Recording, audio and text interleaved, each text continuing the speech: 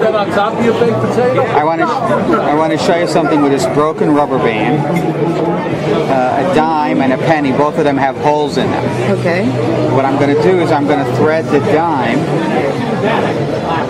on the rubber band, and I'm also going to thread the penny on the rubber band. So they're both right in there. What I want you to do is hold on to one end of the band with this hand, and the other end of the band with this hand. Which one do you want, the dime or the penny? Oh, the dime. The dime watch. I'm going to try to take the dime right off of the rubber band. Oh. Oh. Wow. Wow, that's amazing. Applaud, laugh. Yay! That's great. Wow. How does he do it?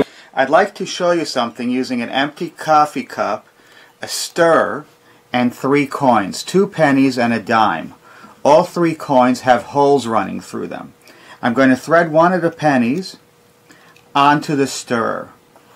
Same with the dime. And the third penny. The dime is actually sandwiched between the two pennies. Now watch very carefully because I'm going to try to make that dime disappear from between the two pennies. Just like that. Watch very carefully.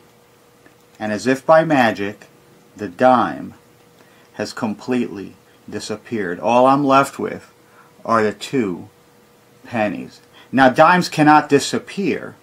They had to go somewhere. And in this case, the dime went right through the cup. And there it is.